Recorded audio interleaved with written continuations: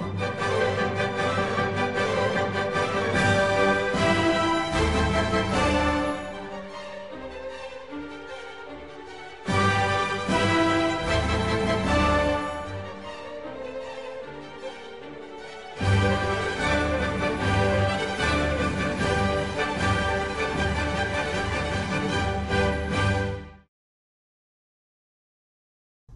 Herzlich willkommen zu einer neuen Folge unserer Serie Die Energiewirtschaft der Zukunft.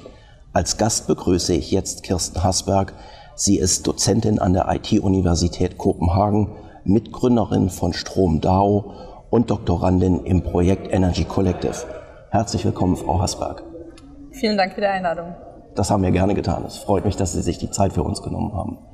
Sie beschäftigen sich ja im Moment ähm, vor allem mit der Blockchain und äh, da würde mich einfach mal interessieren, was ist das überhaupt? Was ist eigentlich Blockchain? Also die Blockchain-Technologie ist eine verteilte Datenbank-Technologie, die ihren Ursprung in der Bitcoin-Kryptowährung hatte, mhm. also einer Kryptowährung, die 2008 entstand. Und als Weiterentwicklung äh, davon ergeben sich im Augenblick die Möglichkeiten, diese verteilte Datenbanktechnologie auch in ganz anderen Branchen als nur in der Finanzbranche anzuwenden. Man muss sich das so vorstellen, und da kommt auch der Name her, dass die einzelnen Transaktionen, also sozusagen die Einträge in einem Grundbuch digital auf vielen verschiedenen Rechnern verteilt werden und dass darin die Sicherheit des Systems besteht, also in dieser enormen ja. Redundanz. Und warum sollte man sich als Stadtwerk mit diesem Thema auseinandersetzen? Als ich ähm, zum ersten Mal mit dem äh, Begriff Blockchain in Kontakt kam, dachte ich sofort, dass das der Missing Link ist in der Energiewende. Wir haben eigentlich eine Situation, wo wir durch die erneuerbaren Energien ähm, eine Dezentralisierung, eine Demokratisierung der Energieerzeugung schon erlebt haben, die sich schon in den vergangenen Jahrzehnten vollzogen hat.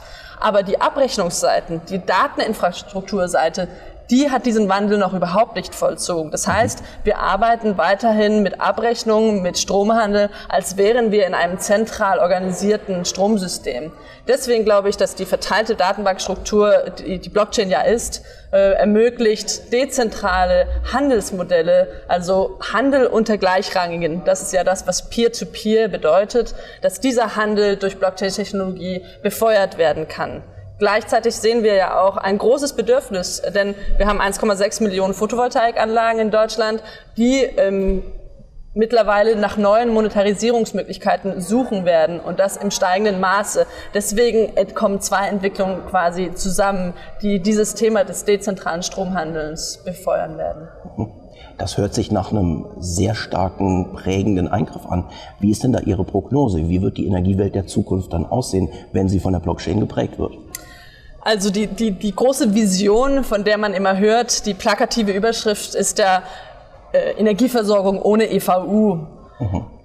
Das ist eine Vision, die eigentlich ja auch aus der erneuerbaren Energieentwicklung äh, herauskam. Also Stichwort Prosumer, die sich versorgen, die aber durch Blockchain-Technologie jetzt auch anfangen können, ihre Nachbarn, ihr Umfeld zu versorgen.